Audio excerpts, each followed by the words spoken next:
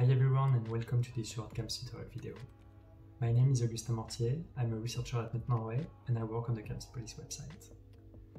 In this video, I will give you an overview of the model products available on the web interface and we will see how we can use those results to understand and analyze air pollution episodes in Europe. Today we will focus on the source receptor products. The source receptor allocation allows to investigate the sources of some variables forecasted for different locations, the receptors. In our case, the variables are PM10, PM2.5, which correspond to the mass of the particles with diameter below 10 and 2.5 micrometers respectively, and the ozone surface concentration. The receptors consist of the 27 EU capitals plus some additional cities. On the daily forecast page, uh, we present every day the source receptor results forecasted for the next three days with two models, EMEP and LOTOS-EUROS. Thanks to the calendar in the menu, you can browse the archive and look at the model predictions in the past. As indicated in this menu, we are now looking at the PM10 forecasted for Paris by the EMEP model on the 18th of March of this year. The first tab of this page, uh, Daily Forecast, presents how much of the selected pollutant is due to local sources, which means comes from the city itself, or from the rest of Europe. In the others, we find, for instance, the shipping contribution, but also the pollutants coming from outside of the model domain, the boundary conditions. It usually consists of natural particles, like sea salts produced in the Atlantic Ocean, or desert dust coming from North Africa. The upper time series present the forecasted concentrations with an hourly resolution. You can get the values by just hovering the, the time series with your mouse. The lower chart shows the same information for daily averaged concentrations. We can see, for instance, that the PM10 forecasted for Paris is mostly due to emissions outside of Paris. On the first day, the local contribution of PM10 in Paris is about 14%, and it goes down to 9% on the last day of the forecast. The map on the top left gives a brief indication of the levels of pollutants in Europe. For this specific day, we can see that high PM10 concentrations are forecasted in Athens, as indicated by the red dot.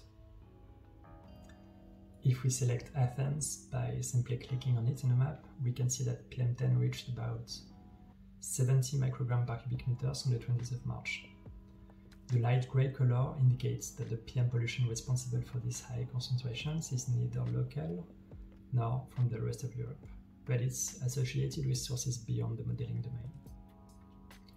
The two next steps, country attribution and chemical species, can help to identify the source and the nature of the forecasted pollutants.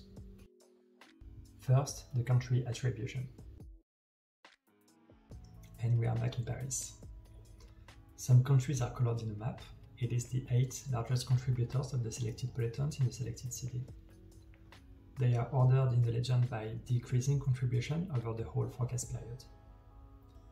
In addition, we also present the natural and others contributions. In this example, we can see that Paris itself, uh, the rest of France and United Kingdom are the three largest contributors to the PM10 forecasted in Paris in the selected period. The country contributions also vary during the period, and for example, on the 21st of March, more than 40% of the PM10 is allocated to UK emissions.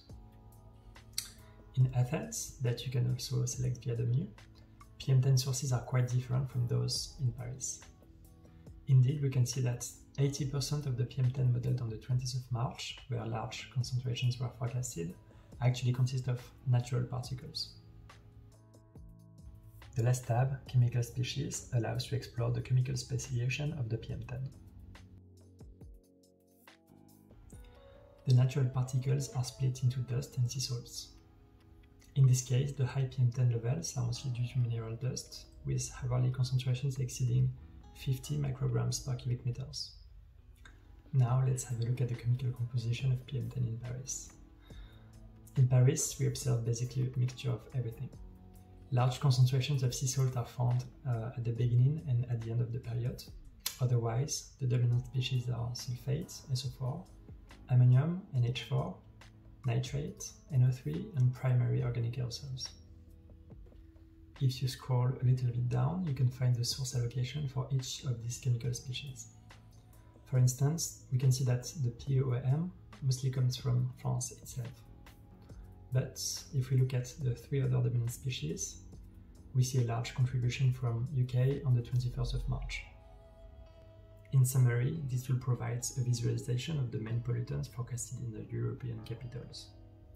The source receptor calculations allow to investigate which are the major sources of the pollutants simulated in the cities in terms of countries and in terms of chemical species. If you have any questions, please leave comments in the video so everyone can benefit from it and we'll go back to you. Thanks a lot for your attention.